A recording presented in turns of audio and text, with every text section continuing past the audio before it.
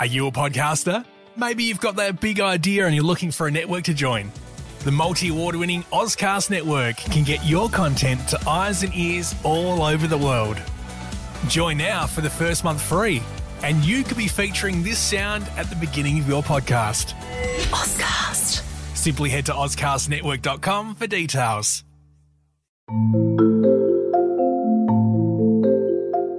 Dr. Travis Brown, what is this medical life all about? This is the pursuit of knowledge as we learn about diseases from the ancient times to the present day. These are the stories of medicine.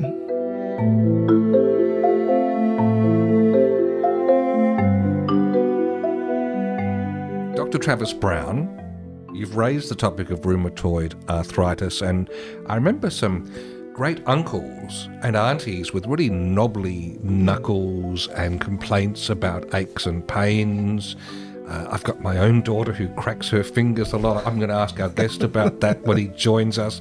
Um, what, how are we going to tackle rheumatoid arthritis the, in this episode? The interesting thing about this, while you mentioned your your family, is one time I was watching a movie. There was a, a movie, uh, Maverick. Uh, mm. With uh, not the not the new not one, the, uh, the one with uh, Mel Gibson, Jodie Foster, and, and James Garner. It's, it, look, it's a fun movie. I, I loved it. Uh, really wittily wrote.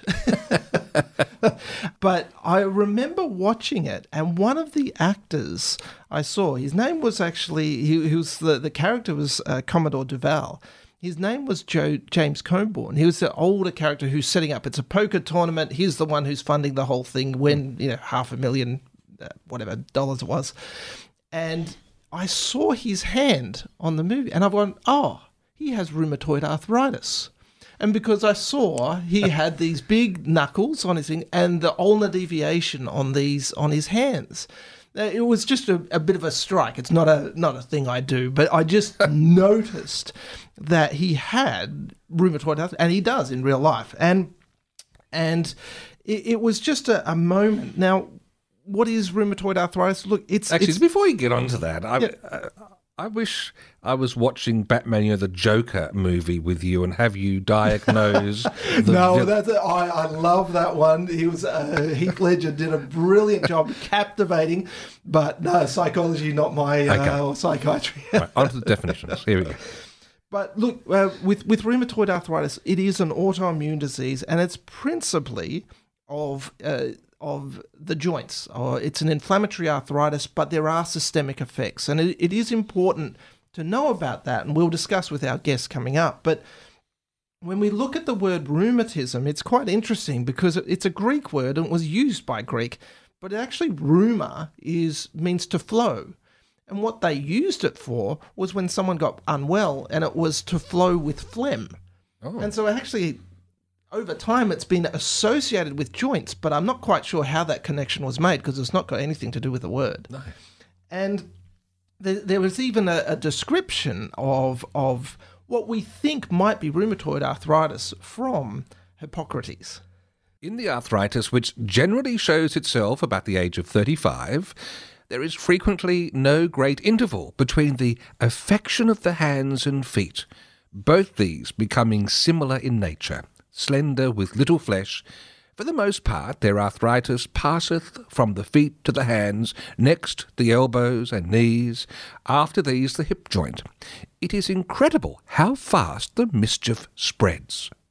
And so that, that could be, it may not be, it might be completely unrelated, but this is looking a few thousand years back. So the, the interesting thing, though, about rheumatoid arthritis is we don't get definitive proof of its identification until the 18th century.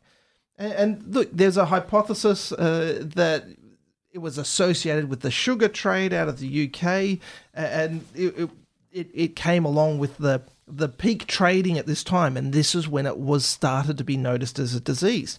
It's quite interesting because uh, there's a whole bunch of discussion about the taxation that goes through, and that that suddenly this disease appeared.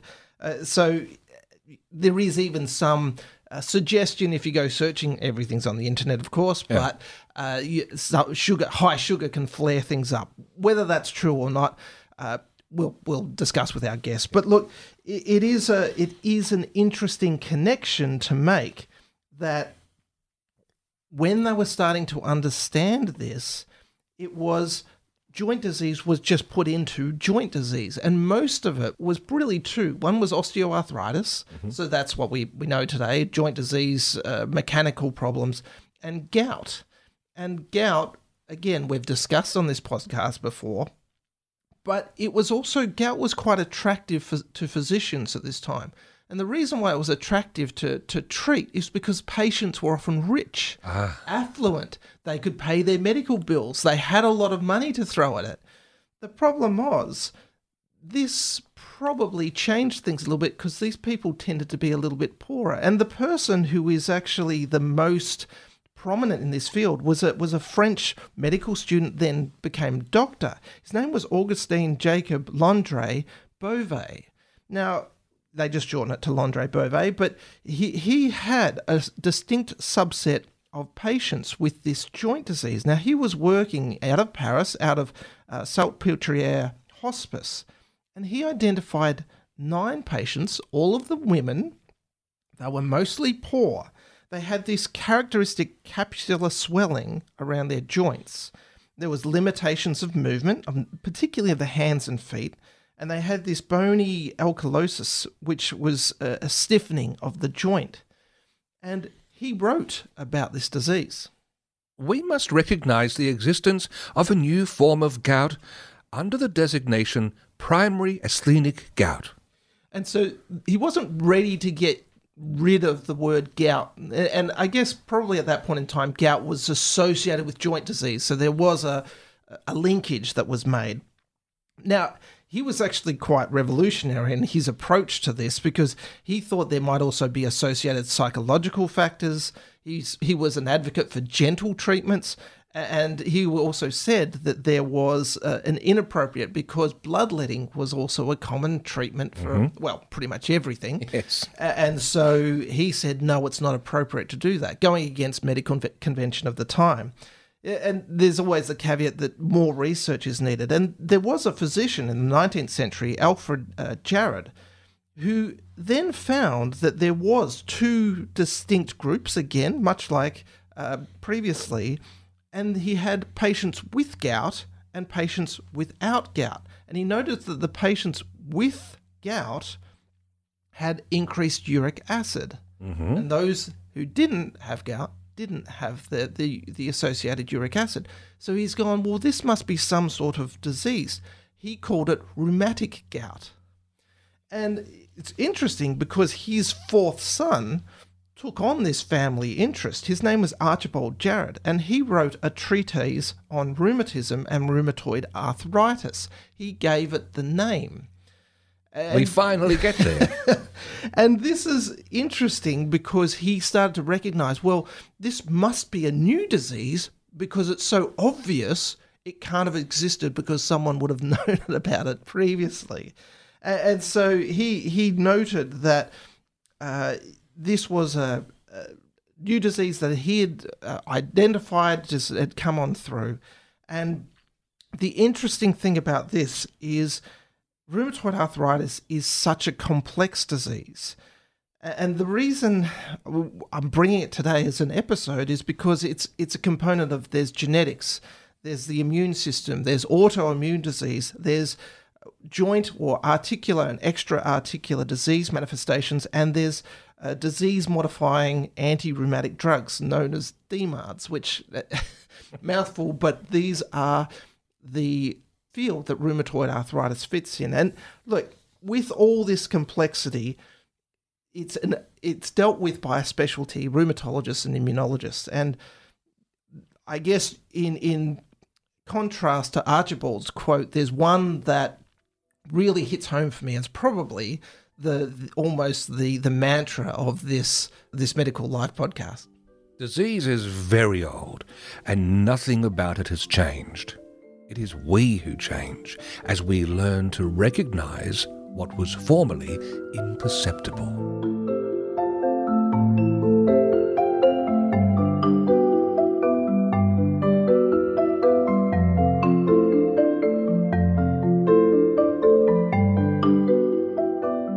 Daman Langguth is an immunologist and head of the immunology department at Sullivan Nicolaides Pathology. He has particular expertise in the investigation of autoimmune disease, allergy, and immune deficiency. Dr. Langguth gained his medical qualifications at Auckland Medical School, New Zealand, and trained in rheumatology and immunology in Perth and Brisbane. He has fellowships and memberships of the Australian Rheumatology Association, the Australasian Society of Clinical Immunology, the Federation of Clinical Immunology Societies, the Royal College of Pathologists of Australasia, and the Royal Australasian College of Physicians. Dr. Langguth is widely published and is a returning guest for This Medical Life, and we appreciate that dearly. Welcome back, Daman. Thanks very much, Steve. Daman, can I get the ball rolling in this part of our episode and ask just how prevalent is rheumatoid arthritis today? So we know that uh, depending on which population you look at, but um, fairly uh, exhaustive studies come up with about one in 200, or perhaps a little bit over that is prevalence. So obviously, the disease, once you've got it, we, we never actually say you haven't got it anymore. We don't say rheumatoid arthritis goes away. Oh, there's a fine nuance there. It's it's a disease for life. Right. It doesn't mean you're going to be terribly crippled your whole life or mm-hmm. disabled, uh, but it does mean that for a significant number, particularly those people who are what's called seropositive or those that make CCP antibodies, cyclic citrullinated peptides, or the Americans tend to call them ACPA anti-cyclic um, peptide antibodies. All right. Just before Dr. Travis Brown launches in with more technical questions, could you lead us through what the risk factors are? And I ask as a dad of a 14 year old daughter who loves cracking her fingers all the time, and I know there is a tenuous link. Or maybe none whatsoever. Yeah, you're shaking your head. All right. And the GP's listening, I apologise. But let's look at the risk factors more broadly. No, um, snapping joints uh, is just two surfaces being pulled apart with an air bubble being released. um, that that's all that noise is. It has no bearing on the development of any arthritis, unless of course you snap them so viciously that you might break them. But uh, but um, no, uh, doing that in no way is dangerous. Okay. Um, now risk factors. The biggest modifiable risk factor is smoking. Oh. So that uh, cigarette smoking, we're talking about, particularly interacts with those people with a, a genetic background to produce um, CCP antibodies. Now, obviously, you have to have that genetic background, and obviously, not everyone who smokes with that genetic background will develop rheumatoid arthritis, but it is a known modifiable risk factor. I mean, in, in Australia, adult smoking rate sits at about 12 to 13 percent. So we've already modified that a great deal. And the risk probably comes early rather than late. So it's not you have to smoke 4 million packets of cigarettes. Right. Um, it's probably just that you started when you were a teenager uh, and then you develop rheumatoid arthritis. And it's unlikely, like in most diseases, there's not one risk factor, there are lots of risk factors. Randomness being a risk factor in the immune system, because the immune system has a degree of programmed randomness. So, in other words, when you're making T and B cells, there's deliberate mutation in their DNA so that you can come up with an immense variable uh, range of, say, T cell receptors or immunoglobulins. It's the only area in medicine, in sorry, in human uh, biology, where deliberate mutation is allowed and encouraged. So, not actually in the gene line, but in when you are making the proteins because uh, you can't possibly have enough genes to encode for every possible T cell receptor, that you're talking about mm, 10 to the 12, so a lot. And you have to have a way of coming up with that number of uh, possibilities. And the way is that um, we allow certain areas to undergo genetic change so that we can produce them. Um, going back to uh, the risk factors, um, a risk factor which we've actually known about for uh, 20 years has come to the fore more recently, and that's periodontitis. So we know that bugs in the mouth, um, one in particular, which I forget the name of, um, has uh, enzymes which produce uh, deamidation um, to make citrulline. So that um, if you're a smoker, and of course, smoking smokers are more likely to develop periodontitis because uh, the effects of, of cigarette smoke on the mouth, and you have a genetic background, you're more likely to develop rheumatoid arthritis. Um, there are some changes in the gut as well. So there's some uh, bacteria, Prevotella, um, when it's present in the gut at higher numbers, um, it seems to have a population effect. So, you know, the indiv- individual effects are very small. Uh, but when you look at populations, you can see that certain gut changes. So, you know, a common theme across uh, autoimmunity and, and medicine nowadays is the biofilm. Um, so we've got two examples there of the biofilm, the biofilm in your mouth and the biofilm further down in your gut. And so if you perhaps are a smoker, you've got periodontitis and you happen to have those both those bugs sitting in you in you more often, then you're doing as much as you can to develop rheumatoid arthritis. Gee. Um, there are some other genetic markers, Steve, but they all have fairly kind of low, you know, odds ratios. So in other words, they really only increase your risk of rheumatoid arthritis by by maybe t- twice at most. So they're not they're not that useful, and we certainly don't go measuring them unless we're looking at uh, clinical research.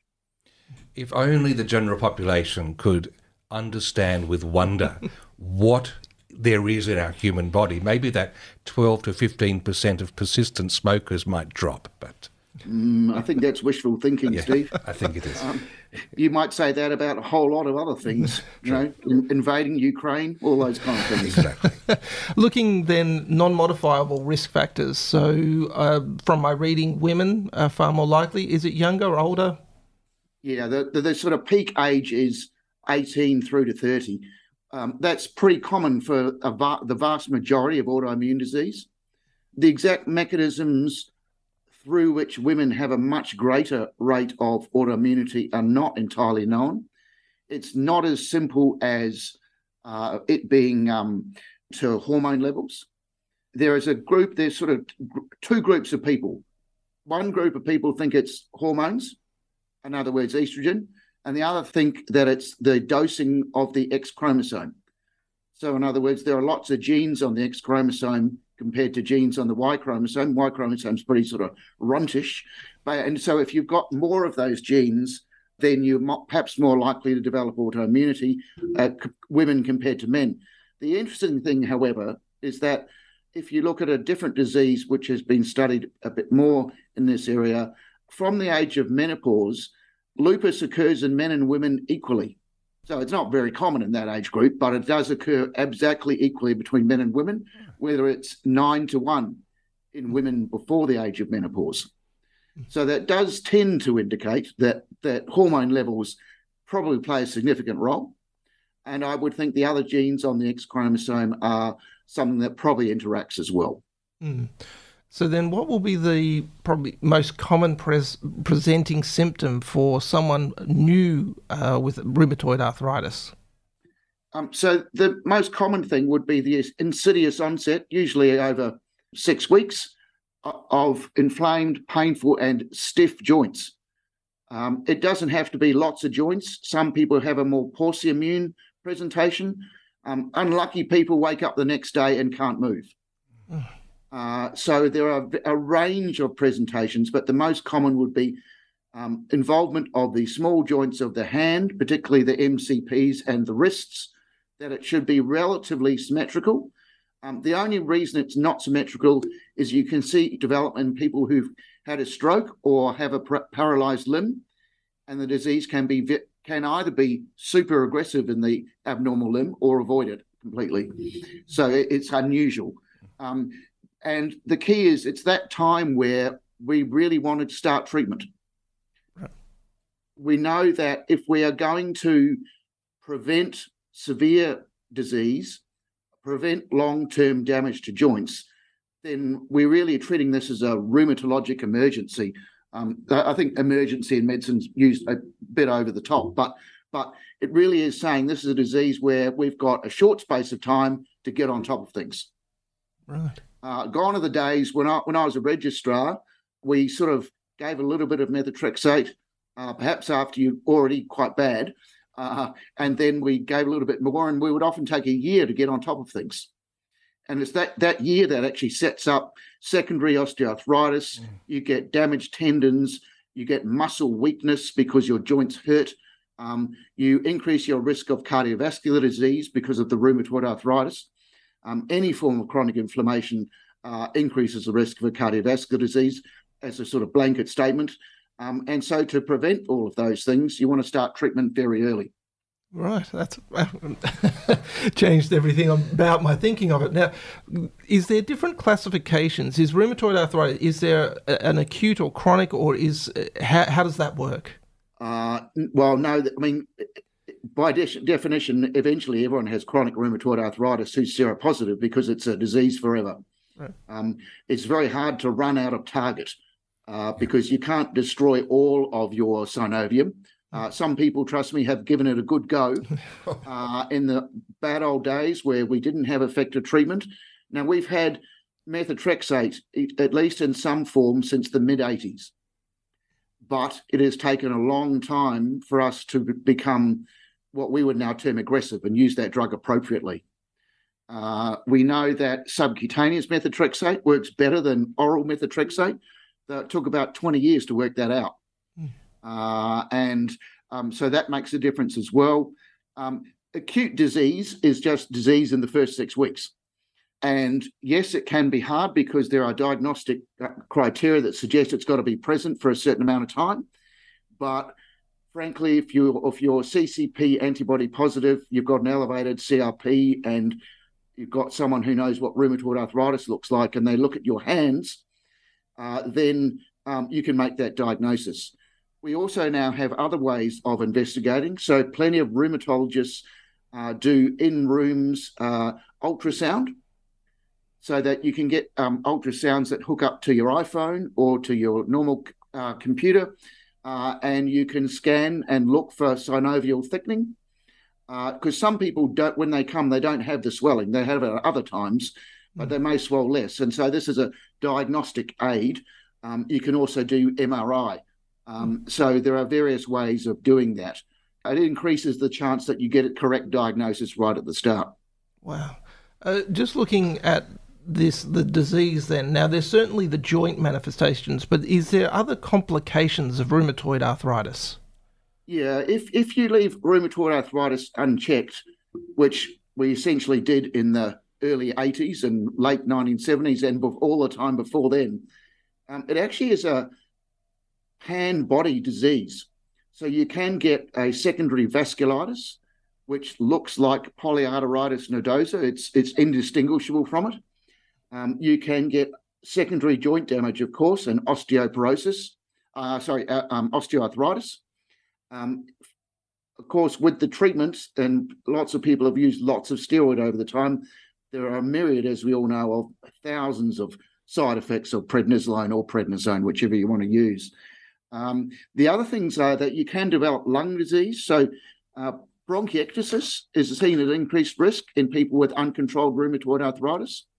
You can get uh, pulmonary nodules, and you can also get interstitial lung disease, which often is untreatable in rheumatoid. It can affect the eyes, so you can get um, scleral melt.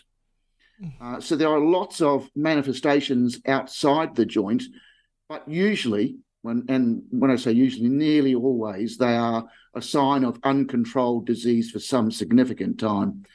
Um, we'd all be aware of um, nodules from rheumatoid arthritis, which occur on usually extensor surfaces, uh, and they can be quite problematic. We don't see them very often anymore because we ha- vast majority of people um, have effective treatment. Right. And then just looking at uh, flares, because one of the, the, the stories in the lead in is that uh, they, they associate sugar with some of the uh, flares, and, and I think that might to do with periodontal disease that you mentioned earlier. That uh, their identification came with the rheumatoid arthritis. But is there anything that can predict acute flares, or uh, can give us an idea about who is likely to flare? Uh, well, the people who are likely to flare are the people who've had significant flares already. Um, it's like most autoimmune diseases. How can you tell if they're going to be bad? Well, if they're bad already. Right. Um, and so that's not that useful if you're dealing with someone right at the start. But even then, if you've got the more joints involved and the more your normal life is impaired, that says to you as a doctor, this person is more likely to suffer. Right. Um, so CCP antibodies, obviously, um, they are they are what seropositive is now. Um, we don't really need to use rheumatoid factor. It's uh, less predictive and less specific. So rheumatoid factor is found in a lot of conditions.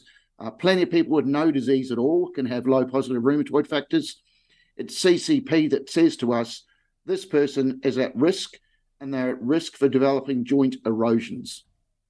So erosions are holes at the edge of your joint which mark severity of disease, and that's how rheumatoid destroys your joint surfaces.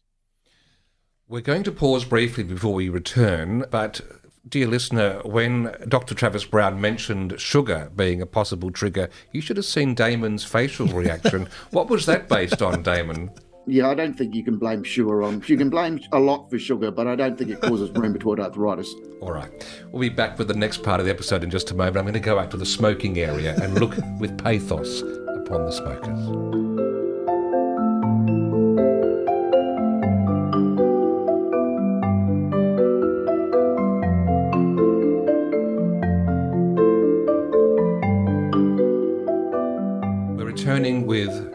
Dr. Daman Langguth now to continue our discussion about rheumatoid arthritis.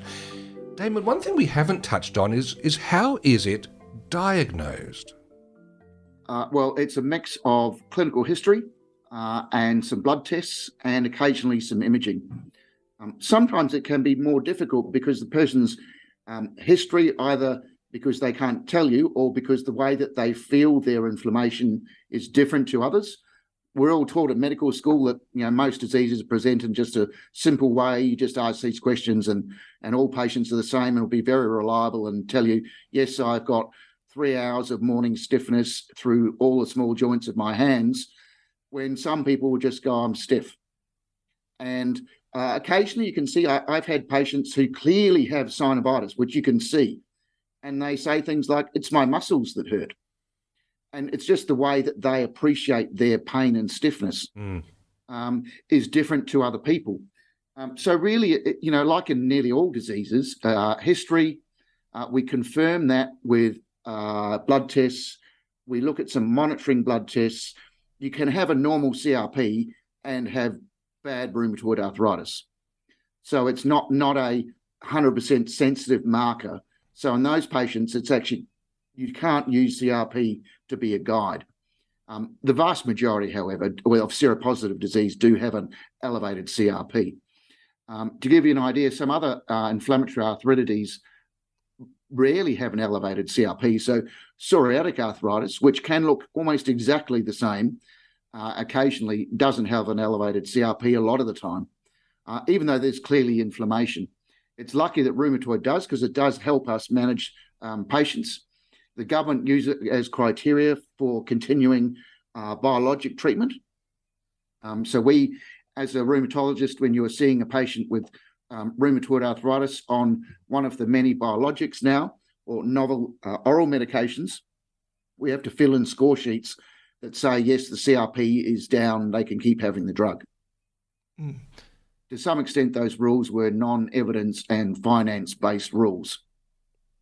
So then, looking at the the diagnosis, uh, rheumatoid factor uh, appears to be appears quite a bit. From our earlier discussion, would anti CCP be more appropriate in this in this regards? Oh yeah, much much more appropriate. Um, the the additive value of rheumatoid factor is very little. Occasional patients will make rheumatoid factor and then take a little while to make CCP antibodies.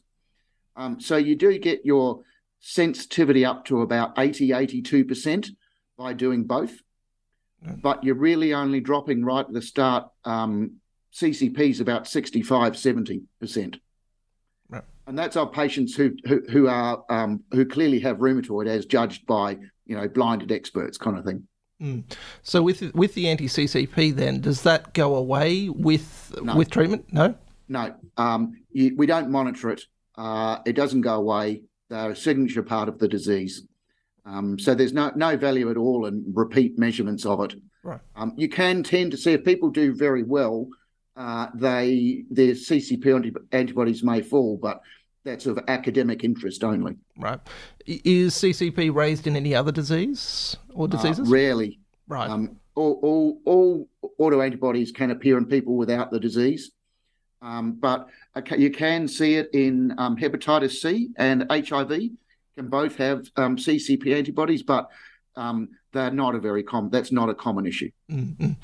There are some genes that are associated with rheumatoid arthritis, and we can test for them. It's uh, there's one that's HLA DRB1 and HLA A and B. Uh, is there any clinical utility to testing for these? Uh, no, no, um, they really are of research interest. Um, we do know that uh, if um, we're doing genetic studies, i.e., trying to come up with the vaccines to stop rheumatoid, uh, that obviously we need to do HLA typing and work out what we're doing. But that's a research only test. There's no value in a general practitioner or even a rheumatologist, really. If you've got the disease, you've got the disease, uh, and it doesn't help you to know if they have the shared, what's called the shared epitope, which is a, on DR4, so that's DRB um, one, uh, sorry, DRB one oh four oh one and 0404. They're the majority of it. Um, even those things differ because in some populations, um, you really only see uh, DRB 401 uh, because 0404 doesn't exist. So um, it, it depends uh, where you come from um, and uh, your ethnic or historical background, um, which genes you're likely to carry. But uh, unfortunately, there are no groups of people who don't get rheumatoid arthritis. Mm, okay. Now we've mentioned it a few times, uh, and I haven't defined it. But looking at what is what is the definition of a seronegative rheumatoid arthritis? Uh, the definition is that you are uh, rheumatoid factor negative and CCP antibody negative. Right. Okay. So how do we manage people that uh, fall into that category? Well, we actually manage them much the same as um, seropositive people. Um, they are less likely to develop joint erosions.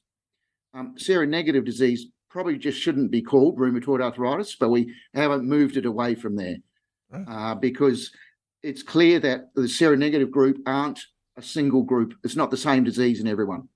Right. Uh, and there are various characteristics, and they probably you know, all should be clustered together depending on their features.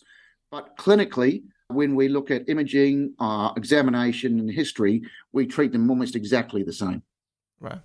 And now, just looking at then inactive rheumatoid arthritis, or probably well managed is probably the better better term. Do they? Is it treatment for life, or is it able to be reduced? I was taught by senior people more than me that uh, you only risk a disease flare by reducing treatment. And given that uh, every flare they have means that you are destroying joints to some extent and increasing your risk for cardiovascular disease, why would you do that unless there were any particular dangers on what you were doing? Um, so it's all about um, trading risks and benefits. Um, in seronegative people, um, there is a chance that you get completely off treatment and do not need further treatment.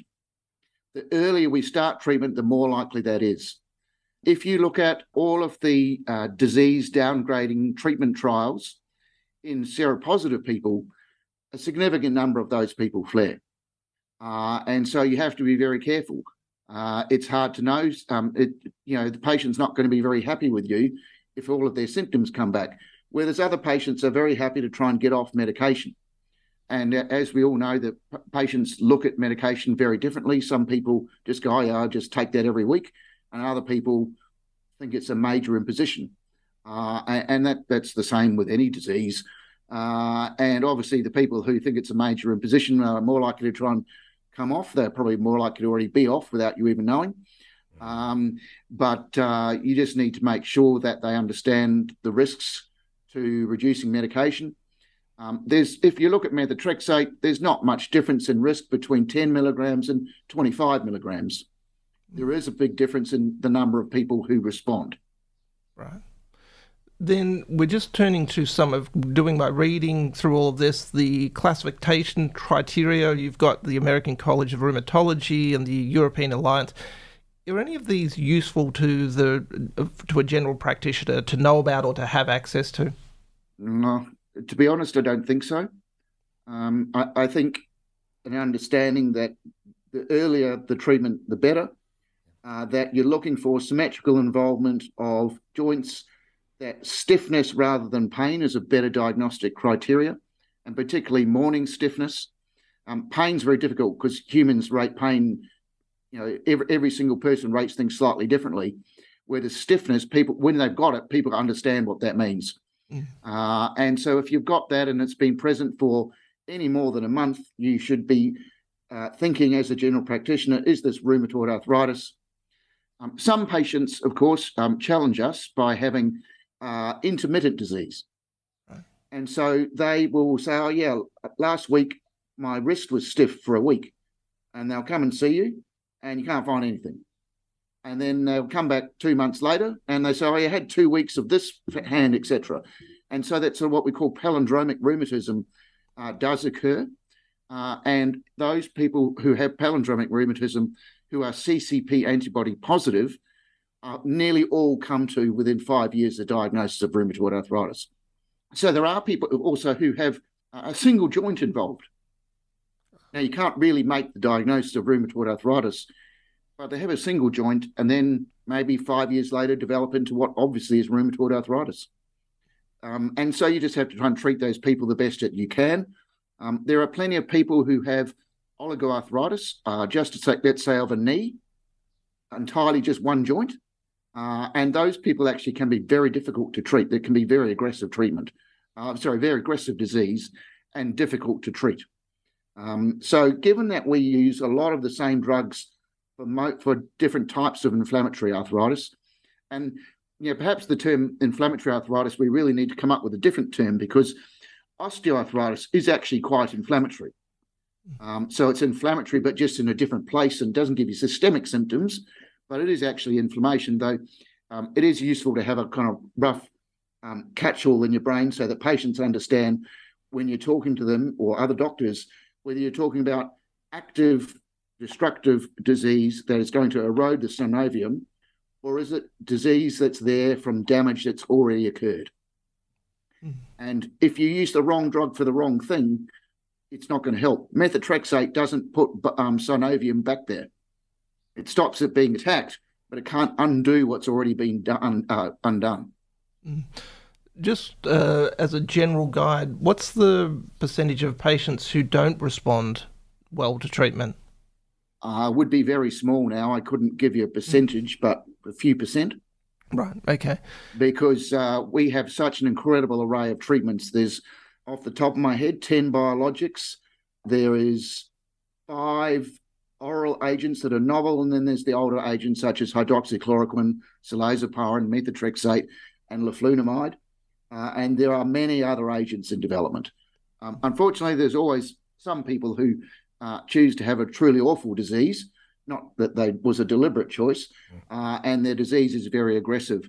Um, interestingly, men can have quite an aggressive form, uh, young men, um, because clearly something they're not even in the risk group, you see. So there's something unusual about them that allowed them, as opposed to any other man, as opposed to a, a woman, um, get rheumatoid arthritis. Um, and you do see this in autoimmune disease where there's a sex uh, difference in that men's disease doesn't behave exactly the same as women's disease. Hmm. Is there any tests that are useful for uh, general practitioners in monitoring these patients who have rheumatoid arthritis? Um, well, there's two parts of monitoring. Most of the monitoring we do is actually not monitoring the disease with blood tests, but it's actually monitoring the drugs we use. Um, so in methotrexate, we look for liver test changes. Um, we now know that um, whilst alcohol is largely proscribed rather than prescribed, um, in methotrexate, it's certainly not the alcohol. Um, methotrexate's effects is fatty liver.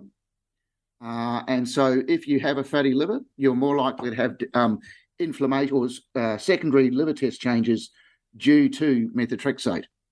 Um, a few of the other drugs um, can have interesting effects, but most of the biologics actually are relatively uh, safe from the point of view of liver and blood count.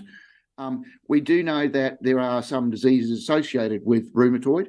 So, um, uh, uh, neutropenia and other autoimmune diseases, you can see occasionally people become quite anemic because they've been either they are anemia of chronic disease or they have taken a fair bit of non-steroidal and given themselves a small GI bleed.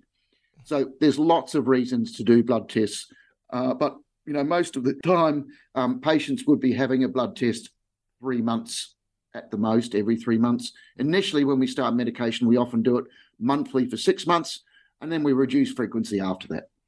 Daman, we've been talking from a general practitioner's perspective, but when is it appropriate to refer a patient uh, to a specialist for management? Um, from my point of view, uh, anyone who has an inflammatory arthritis should be seen by a rheumatologist. Okay. Every and- single patient. Uh, and some of those can and can um, quite happily go back to their general practitioner, but the vast majority are going to end up on medication that needs long-term monitoring, uh, and uh, that's you know I mean if you can keep up with that as a general practitioner, good on you. Uh, it's hard enough in rheumatology to do that. So you know we, we say that um, for starting disease modifying agents, we really want to see those people at the six week mark. All right. And look, just finally, any closing thoughts for GPs to bear in mind in relation to rheumatoid arthritis? I, I think just remember that it's common from the point of view of an autoimmune disease compared to a lot of other diseases that I would look after, which are like one in a hundred thousand kind of thing, or one in a million. Um, that it isn't just a joint disease. That if we don't control it, it can give you both short and long term issues. The long term issues being cardiovascular disease. So it, you, you've got to think that rheumatoid arthritis in young women is acting as if they were a smoker.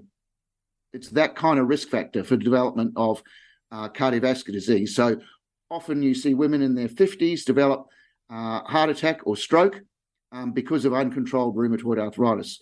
And we know categorically that if we use uh, methotrexate, because it's got the biggest data set, um, that ever receiving methotrexate reduces your risk of cardiovascular disease. Well, this has been a most enlightening episode, and I'll certainly keep my eye out uh, for morning stiffness with mixed emotions as we move forward now. But Dr. Daman Langguth, thanks again for joining this medical life. Thanks very much, Steve. Glad to help.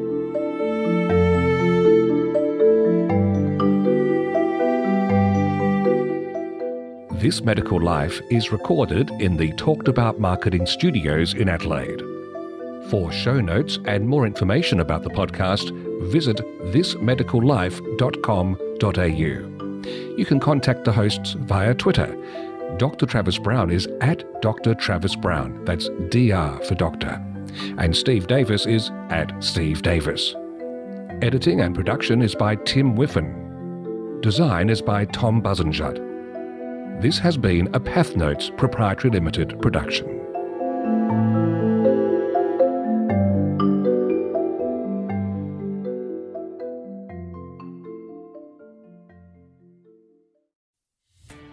Are you a podcaster? Maybe you've got that big idea and you're looking for a network to join. The multi award winning Auscast Network can get your content to eyes and ears all over the world. Join now for the first month free, and you could be featuring this sound at the beginning of your podcast. Auscast.